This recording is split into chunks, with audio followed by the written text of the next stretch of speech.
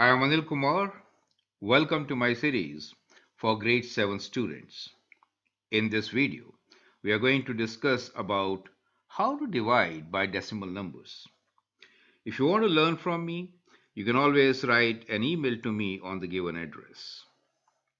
We can have one-on-one -on -one Zoom classes to learn the concepts. In this video, we are going to discuss how to divide by decimals. We'll take up cases where we'll be dividing by tens and multiples of 10. We can also write tens as in the exponent form shown here, 100 to the power of 2, for example, right? It is 100, 100, right? Okay, we'll see that. We'll see how to divide by multiples of 5. 5 times 2 is 10, correct? And so, dividing by 5 could be simpler if I could convert 5 to 10. That is what we will practice.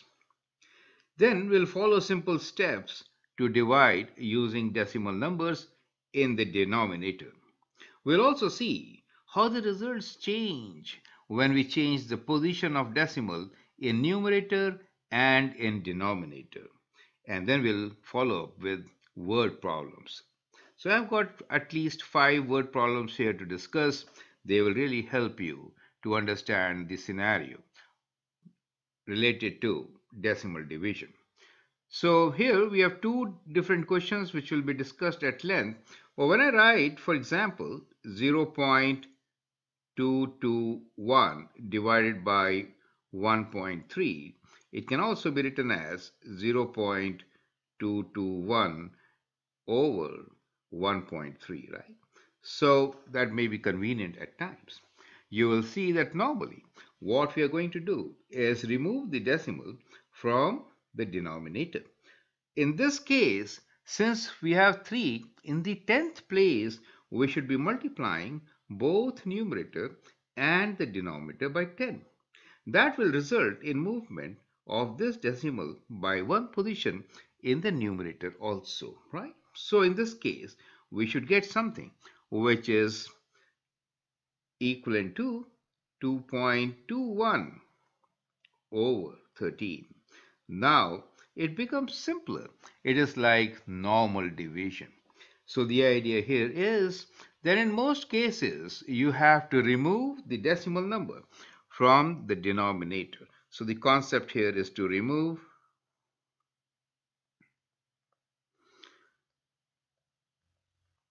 decimal from denominator.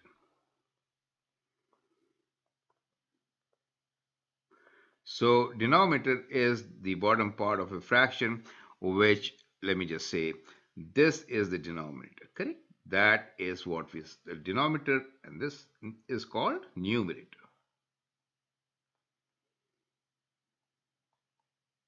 Perfect. So let me write it inside. It's just going slightly outside. This is called numerator. Perfect. So let's take some examples to understand the whole process. Now here are four questions. I'd like you to pause the video, answer these questions, and then look into my suggestions, right? Now, when we divide, we get a smaller number, right? So division will give a smaller number.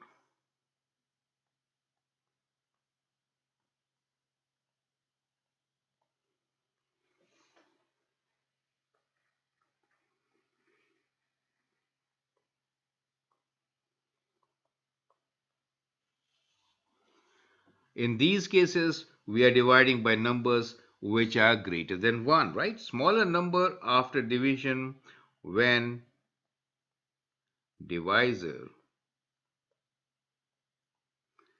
is greater than 1. Do you see that? When divisor is greater than 1. So in this particular case, divisor is 10, 100, 10, 100. All are greater than 1. So we expect a smaller number.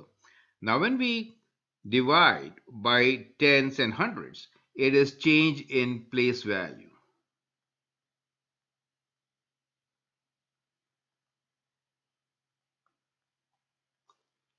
Let's see how. So in this particular case, the very first one, we are dividing by 10. So when you have a number, let's rewrite this number as 123. So when you're dividing, write it like a decimal at the end. Okay, so you can always write 123 as 123.0 and we are going to divide this by 10. It basically means that we have to shift this decimal by one place since 10 has got one zero in it. So when you divide by 10, the decimal shifts by one place and the result which you get is equal to what? Is 12.3 Do you see that? So that decimal comes to one place on the left hand side, reducing the number from 123 to 12.3. Do you see that change? 123 to 12.3. Now I hope the concept is clear. You can pause the video and answer rest of the questions, right? I'll take time to rewrite them and you write down the answers, right? Then you check your answers with mine. So here we have 3.24 divided by 100. The next is 20.63 divided by 10. These are your practice questions, okay? And see how easily they all can be done. We have to only change the position of the decimal. So two zeros here means two places, but smaller. Now here if you push it one place, well, we don't have any other number here, so introduce another zero and then use the number, right? So we get our, our answer, which should be 0 0.0324. Do you see that part? So sometimes we may have to introduce zeros on the left side. Putting zeros on this left side doesn't really change anything. And even zeros on the right side after a decimal does not make a difference. Okay. Next one here is dividing by 10. So we'll change this position to the left side, reducing the number from 20.63 to what? 2.063, right? 2.063. Do you see that? So that is how we are going to change and then write down our answer. Now we have to divide by 100 as you have seen earlier, it means moving left. Decimal place, moving left, two places. But you know what? We have only one place on this left side. So let me introduce another zero here.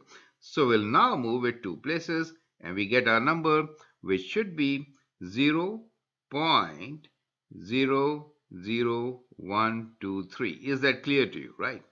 It is a good practice to write a zero before the decimal if there is nothing there. So I hope you got most of them right. Let's move on and practice more to get all of them right. Perfect. Now this time we're doing the same thing as we did earlier. However, we have written 100 as 10 square, right? So remember, when I write 10 square, it really means what? It means 10 times 10.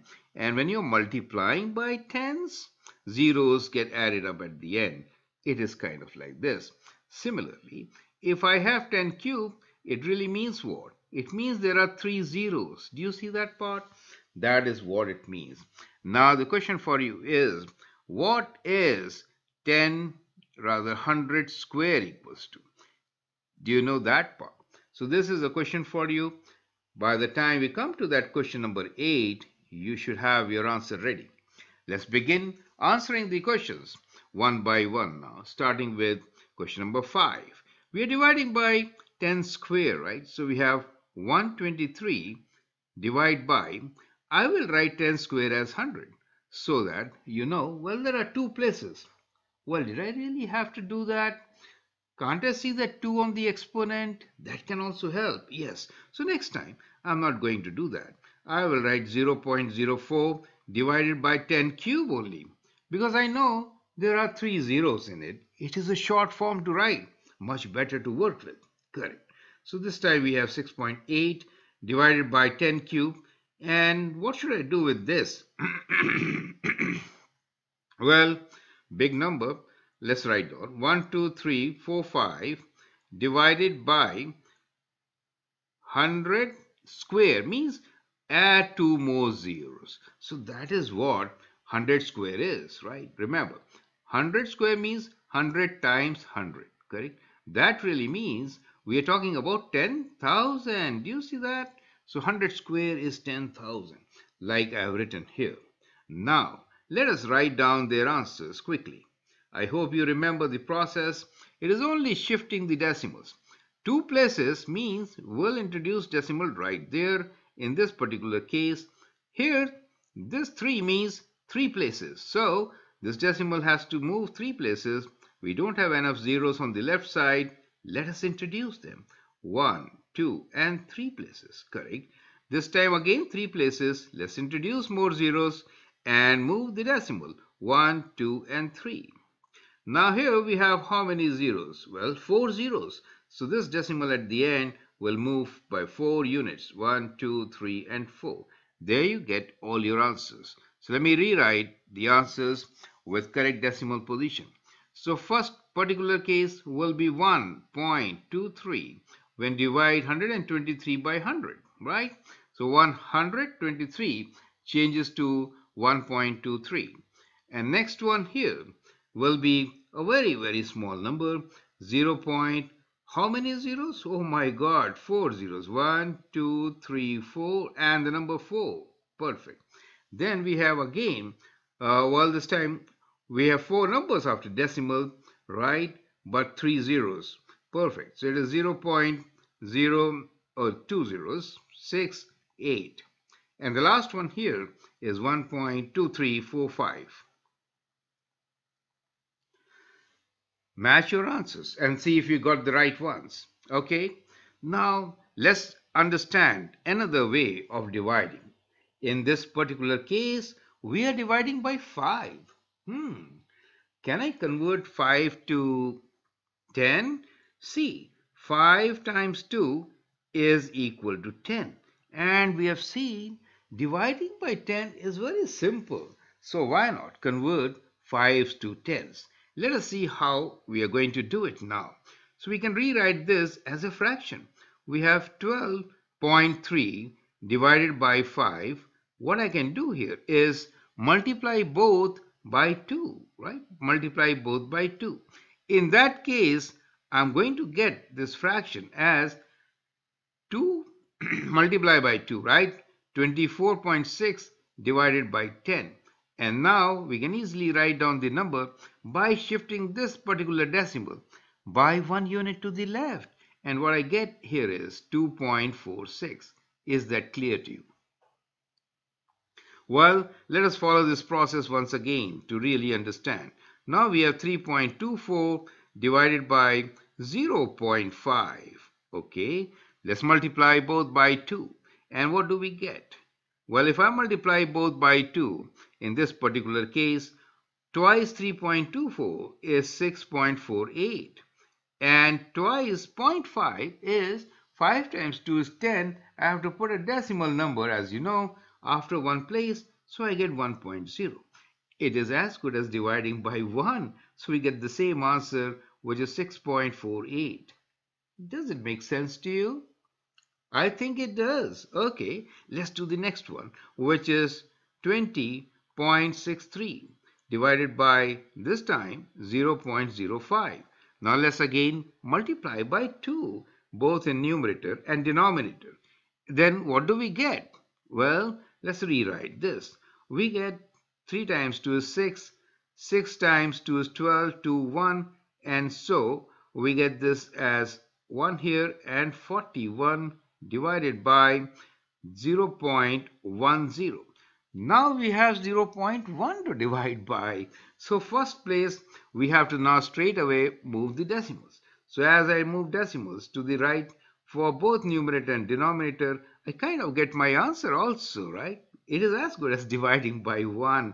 And so I get my answer as 412.6. Do you see what I did here? So basically, let me show you once again this particular fraction. I wrote like what? Let's rewrite and understand.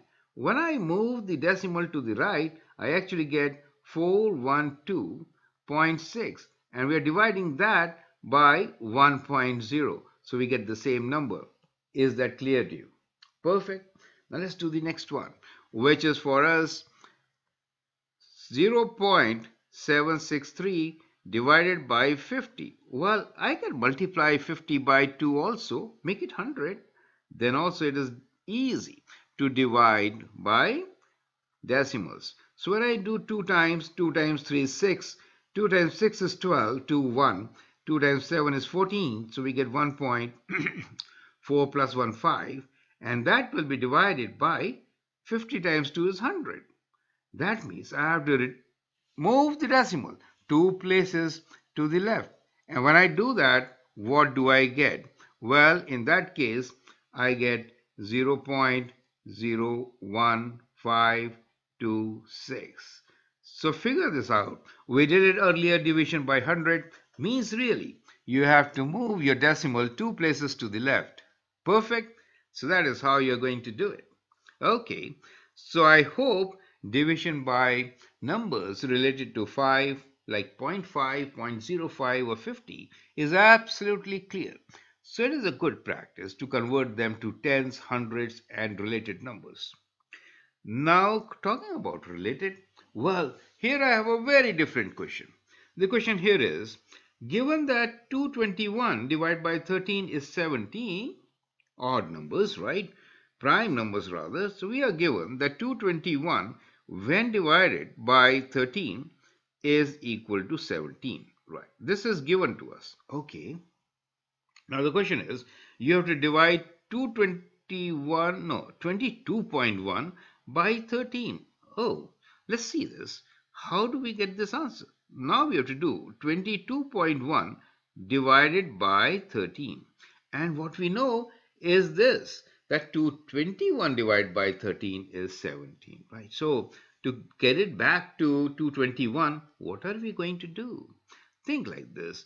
Like this is 13.0 right? So we can move the decimal. This is same as 221 divided by 130 well when I divided by 13 I got the answer as 17 so this is like 1.7 do you understand what I did I actually moved the decimal of 17 by one more place. So what I'm trying to say here is it is as good as dividing it by 10, right? So when I do that, then this 0 reduces the numerator, right? So dividing by 13, 130 is like this. So 130 can be thought of as 13 times 10 you're further dividing by 10 this particular result. So it becomes 1 tenth of 17 and that is 1.7. Does it make sense to you? Well, let's do another question related to this to understand this concept. So now we have 221 divided by 1.3. Now how do I make this 13? Well, I can multiply both by 10. Okay, so I get 221, 0, divided by 13. So I multiplied both by 10. And so now my answer gets multiplied by 10 because I know that 221 by 13 is 17. So I get my answer as 170. Have a close look at it to understand what really I have done. One more time, we have 2.21 divided by 130. Well, now this time Let's rewrite this as 221 on the top. In that case, I have to move two decimal places. So it is 130. And since I moved this right to two decimal places, right, 1, 2, I have to add two zeros here. That means to the answer, which was 17, what do I have to do? I have to divide it further by 1000.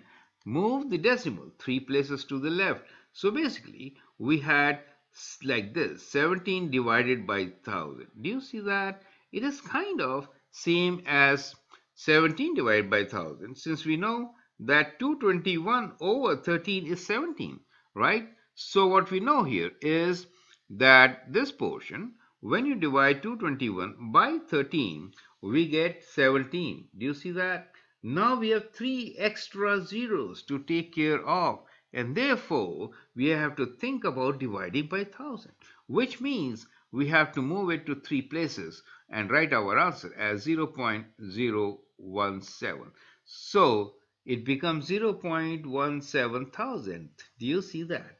That is what it meant by giving you something and then asking for something else let's continue so now we have 0.221 and this is to be divided by 1.3. So let's write this in the form 221 over 13 first. How do I get there? Well, to get there, I have to multiply both by what? Well, this time 1000 once again. Correct. So when I do that, what do I get? I get the value, which is 221 on the numerator. To do this, I have to move to three places. So think like this. I move decimal to three places in the numerator. Here also, one, two. I have a same liberty here, right? And then three. So it becomes 1300. Do you see that? So this time, what are we doing? We are dividing 221 by 13 and additional 100. And therefore, think about writing 17 over 100. And that means we have to put decimal after two places and become 0.17 as our answer. So that is how this exercise should be done. Have a close look at it. Slightly tricky, right? But I hope you understand the process. Do it once again. Fine. Let's move on and take the next question.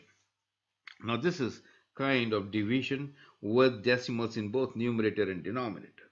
Now in this particular case, we'll adopt a policy that is uh, we'll say get rid of decimals from the denominator, right? That is what we are going to do, right? So the idea is uh, to avoid decimal in denominator.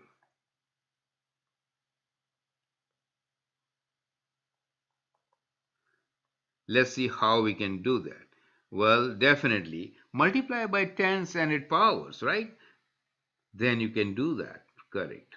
So let's try to think what we are doing. So what we have here is 0.049 divided by 0.07. There are two decimal places in the denominator. We can move both numerator and denominator by two places to the right. And so what we are going to get here is, as you can see, we get 4.9 divided by 07 can be written as 7 and now you can perform the division process right? You understand how to do long division aligning the decimals right? So in this case we have now 4.9 and what are we going to do? Is going to divide this by 7 since 4 cannot go we'll write 0 here and then put a decimal.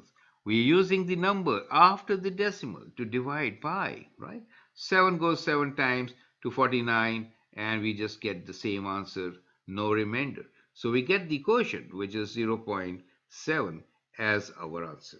Correct? The next one here is 1.21 divided by 1.1. Now in this case, to get rid of decimal in the denominator, we can only move it to one place, right? So since there is one place after the decimal, we kind of move our decimal and write this as 12.1 divided by 11. Now that is simple. 11 goes one times in 12 and then we get one remainder and so it becomes 11 further so it goes 0.1 so whenever you use a number after the decimal you have to put that decimal in perfect next one here is 738 and we have to divide 738 by 0.06 that really means that well assume that there are more decimal places we have to move by two places as shown here. So that means I could write this as 73800 over 6 and now we can perform the long division to get our answer correct? So 6 goes one time so we get 1 times 6 and we get 13 here. And 6 goes 2 times we get 1 here. 6 goes 3 times and we get two zeros so that becomes your answer so that is another way of dividing which you have already learned but you could divide and get your answer as shown here. Now, the next question here is, we have 0.0035 and we are going to divide this by 2.5. So we have one place after decimal, So we'll move both numerator and denominator by 1 places. So we get 0.035 divided by 25. Now as we did with 5s, with 25 you can actually multiply by 4 and get your answer. You could do that, right? So you could do that or you may perform long division and get your answer. Choice is yours. So what I will do here is multiply both by 4 since I think dividing and multiplying by hundreds is very very simple. So why not, right? So 4 times 5 is 20. 4 times so 2. 4 times 3 is 12 and 14 4 1. So we can write this and we know there are two decimal, three decimal places as shown here. And in this case, 25 quarter times 4 is 100. So now we can write down the answer by shifting decimal two more places to the left. So the number becomes much more smaller. So it gets 0 0.0014. That is what you're going to get. So shifting decimal to the left when you are dividing by 100 is a good way of doing it. So I hope this step is clear. Go through it once again.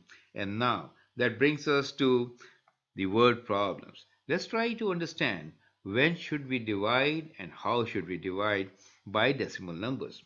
So question number 21 here is how many 0.4 meter lengths of rope can be cut from a roll of 227.2 meters long right? So what you should you should do here right? You have to divide right? How many of 0.4 okay so that means 227.2 should be divided by 0.4 so first step get rid of decimals right? So we get 227 and then bring this 2 and then bring this 4 so we removed one one decimal place from both numerator and denominator and we got our answer as 2272 divided by 4 and now you can divide and write down the answer. So let's do that part. So when you divide by 4 4 goes 5 times 20 then you get 2 here 27 4 goes 6 times 24 32 and you get 568 as your answer. Is that clear to you? You could also do long division. Okay the next one here is to question 22. If $1256.50 is shared equally among 7, how much money will each receive? So the key word here is shared. So whenever we have the word shared, then we have to divide, right? So we should be dividing. This time, the number which is in dollars given to us as 1256.50 we have to divide this by 7. So uh, let me rewrite this 1 to 5, 6. I, okay, we'll write dollar later in the answer. So we get 1 to 5, 6.50 divided by 7. Now 7 is already a whole number, so we can straight away divide by 7 and write down the answer. So what do you get? 7 goes one time in 12. So you get 5 here. 55. 7 times 8 is 56. So 1 less than 8. So 17. 66. 66. 7 times 9 is 63. So 35. And after decimal, so we have to put the decimal and that goes 5 times.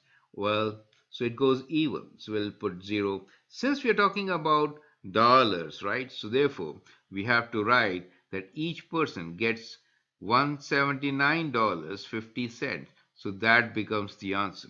So in a word problem, you have to write answer in a statement. And therefore, I will introduce the answers in a statement for both the questions which we have done. So in the first question, it was how many 0.4 meter lengths of rope can be cut from this roll? We got 568. So we should be writing this in a statement that we get 568 lengths right? In this case if 1256.5 is shared equally among 7 how much money will each receive? You should write better each will receive dollar 179.50. Do you see that? That is better than only writing 568 lengths. You may actually extend this and write 568 lengths of 0.4 meter rope will be available, right? Something like this. It is better to explain your answer also in a word problem. Now let's continue with question number 23, which is evaluate 0.17 divided by 2.5 using two different strategies. Okay, so basically we have to divide 0.17 by 2.5. One way is to get rid of decimals from the denominator. And so one position we have to shift. So I could write this as 1.7 divided by 25. And then we can do this process, right? We can actually divide at this stage and then write down the answer. Or we can do the other strategy. And that is we can convert 0.17 and 2.5. 2.5 times 4, quarter times 4 is 100. That helps. Okay, so 0.17 divided by 2.5 can be now written as what? We are going to first multiply and we are going to multiply them by 4 as we learned in our strategy. If I do that, in that case, 4 times 7 is 28, 2, right? 4 times 1 is 4 and 2 is 6, 68 with a decimal right there. And in the denominator, it becomes, this is 2.5, right? So it becomes 100. We have to put a decimal here to 10.0. Dividing by 10 basically means moving decimal one more place to the left. So it be 068. Does it make sense? So we definitely get an answer which is 0.068 but the methods are shown here. You could either adopt this method of multiplying by 4, getting 10 in the denominator and then moving the decimal. That is one method. The other one is you can do the long division, which I didn't do, but this is simpler. Perfect. So adopt one of these methods whenever in the denominator you have numbers like 25 or 50. Decimal could be at any point, right? Now, here is a word problem for you. It says, question number 24. A dry fruit mixture contains 0.934 kg of walnuts, 1.56 kg of almonds, 0.79 kg of cashew nuts, and 2.0512 kg of raisins. Find the total mass of the mixture. Okay. And then if this is shared equally, means divided into four friends, how much mixture will each get? So you have to add and then divide by 4 to get your answer, right? So this I'll say is your assignment. So this is the assignment for you. You can do the assignment and submit. I'll check your answers. So what you have to do here is there are a couple of quantities in this. 0.934 is contains 2 kg of walnuts. That those many are walnuts. And then we have uh, 1.56. So align the decimal. This is kind of critical.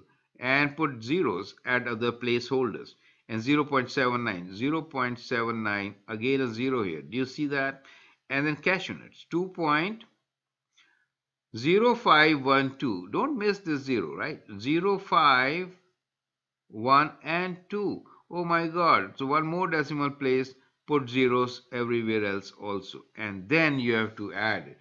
It becomes simpler. Do you see that? Let me use a different ink to add them up. So we have 2 here and then we have 4 plus 1 as 5 there and then we add this.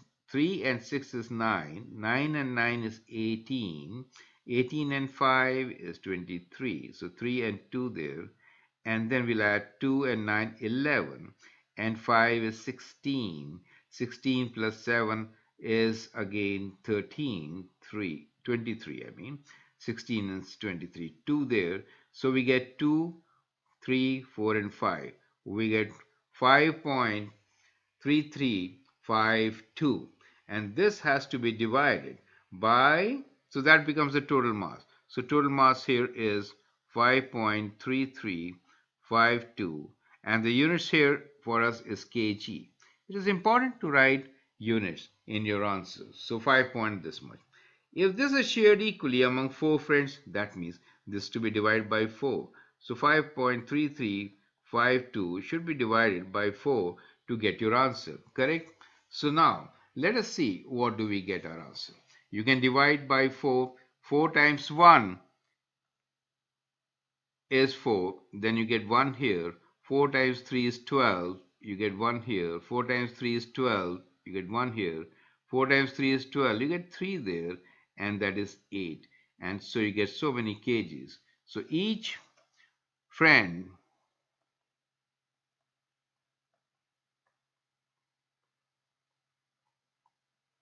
will get how much?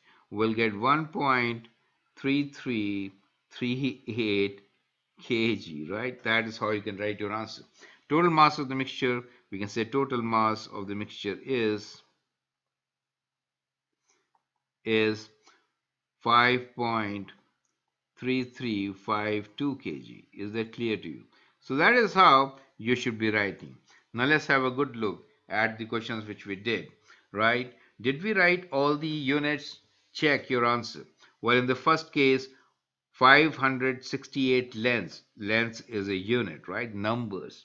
In the second case, we are talking about the dollars and therefore the dollar was included in the units. So when you do your work, it is a good practice to check your result.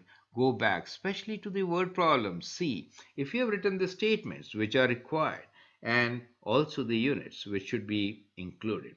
So with that, we come to the conclusion of our video on how to divide by decimal numbers. I hope you got the great concept of dividing by decimals. So remember, when you divide by tens or its powers, what you need to do is we need to just move the decimal places. Perfect. So for example, in this one, we have to move by four places. So decimal one, two, three, four, and clearly the answer in this case would be 1.2345 and in the other case, what you have to do is move the decimal so that you get a whole number, right, in the denominator, right? So we have two steps to divide a decimal is to get a whole number. Since there is one number here, we could have divided this by 2.21 by 13 to get our result.